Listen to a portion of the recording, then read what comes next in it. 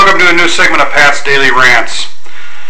Boy, oh boy, I can't quite decide whether it's politics or sports that is the bigger gift that keeps giving.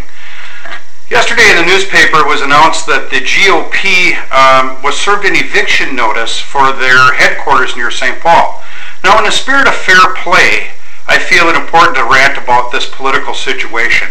Now, I think it comes as no surprise to people that I lean a lot further right than I do to the left. You know, fair is fair. If this would have been the Democrats, I'd be doing the same thing. So we got to be fair here. You know what? This boggles my mind. Now, here's the deal they're $111,000 in debt on rent for their, their office spaces and whatnot near the Capitol in St. Paul. They haven't paid rent since August. Now, wouldn't it dawn on somebody that this is something that needs to be done, particularly by the people that are supposed to be representing people? They're also a group of people that, once are elected, are somewhat charged with balancing budgets and taking care of the needs of the government, of the state, of the people. And yet, they're $111,000 in debt for rent. They said they're trying to negotiate with the landlord now to try to figure out what's really going to work out best for them.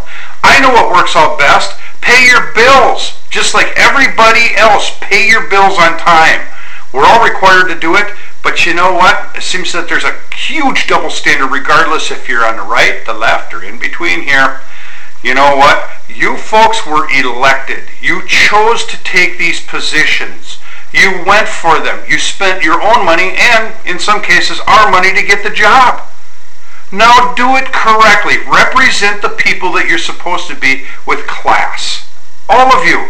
I was I had the opportunity to watch some of the legislature on TV here the other day. I had to turn it off because I was just waiting for one of these knuckleheads to go nana nana boo boo. These kids, well, and I'll call them kids because that's the way they sound with some of their arguments. They're waving driver's licenses around and well, we the same day vote and yeah, I know you did, but I didn't. And, what?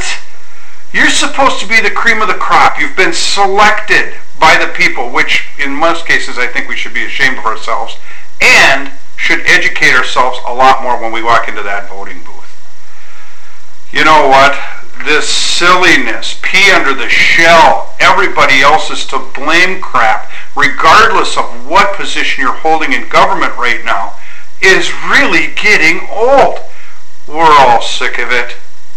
Really sick of it. Please educate yourselves before you vote and vote well this time, please, so we don't wind up in these positions again. We're all sick of it. So knock it the hell off. Have a great day from Pat's Rants. See ya!